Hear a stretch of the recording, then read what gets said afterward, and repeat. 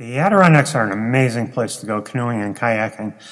There are tons of small lakes and rivers connected by little creeks or relatively short portages. Portages are trails through the woods that you would carry your canoe over to get from one lake to another. We hadn't gone to the Adirondacks in many years, but we want to go a lot more often. So this spring we started looking for a lightweight canoe that was stable enough to take our dog and some gear in case we wanted to go camping overnight. Because there are tons of places out on these lakes where you can actually set up a camp and be all by yourself on a beautiful lake camping out overnight. It's just amazing. We had previously purchased two Swift kayaks from Mountain Man Outdoor Supply Company at an outdoor gear show in Glens Falls, New York. And we got a great price on them, and we have been extremely happy with those boats.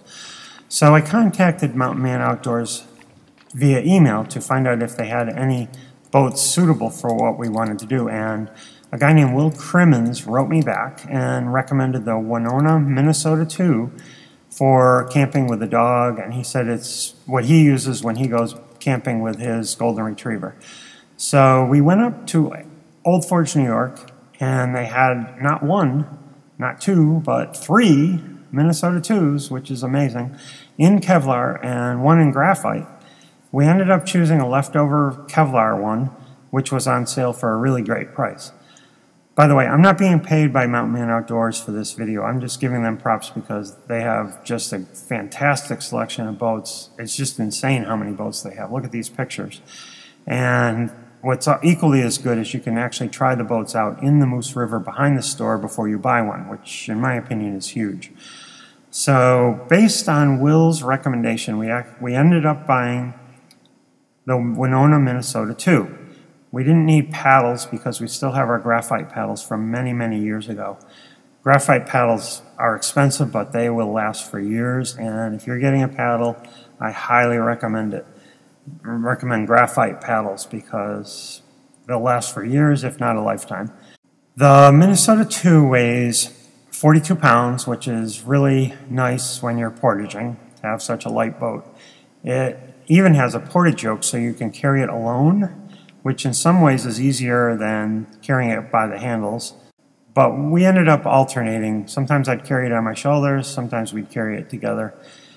The boat is 18 feet 6 inches long, which seems to be like the magic number for fast, efficient paddling while still retaining enough maneuverability to get through tight places.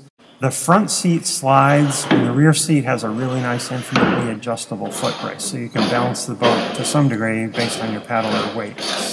I was nervous about our dog tipping us over, but she's been a lot better than I expected. However, your dog could be a different story. Ours stands and sits and shifts positions pretty regularly depending on what interests her, which is actually kind of helpful because if she's sitting off center, at least she's not sitting off center for very long to encourage her to sit in the middle of the boat. What we did was I got an old camping mat and put it in the bottom of the boat and was hoping she would kind of want to be on the soft mat rather than the slippery sides. The mat filled up with water somewhat, somewhat the first time we used it, so the second time I drilled holes in it all over the place. We also found that it would slip when she jumped out of the boat, so we ended up using Velcro to Velcro it to the bottom of the boat, which didn't work out terribly well because some of the Velcro um, loosened up and came off the bottom of the boat. So, but it worked pretty well as far as keeping her centered, keeping her dry, and giving her a soft place to sit. Also, if she moves abruptly or moves way over to the very edge of the boat, the boat is pretty stable, not, you know, like a real, real, real wide canoe would be, but very, pretty stable. And we never felt like we were going to tip over. You know, we felt like we tipped quite a bit, but we never felt like we were going to tip over. I really like the tractor style seats. I find them very comfortable. My wife wanted a seat cushion because she found the seats quite hard. So we bought two Wenonah seat cover cushions and she loves hers, but I find it quite uncomfortable, surprisingly. So she uses a cushion, I do not use a cushion. Another thing, we bought a canoe cover to protect the Kevlar from the sun. The sun will fade your Kevlar or darken your Kevlar, kind of give it a suntan, and eventually it will really start to do a number on your, your canoe over time.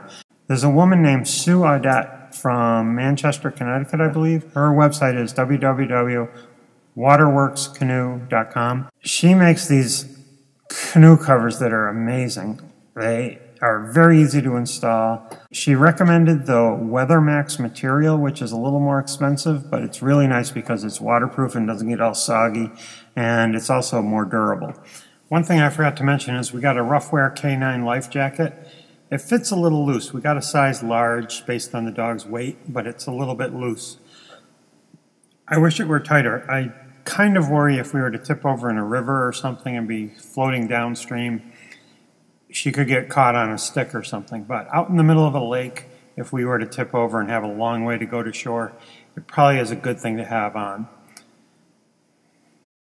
So that's about it. My next several videos I hope to make will be on day trips. We did this summer up in the Adirondacks, which I highly recommend. They're just fantastic trips to do.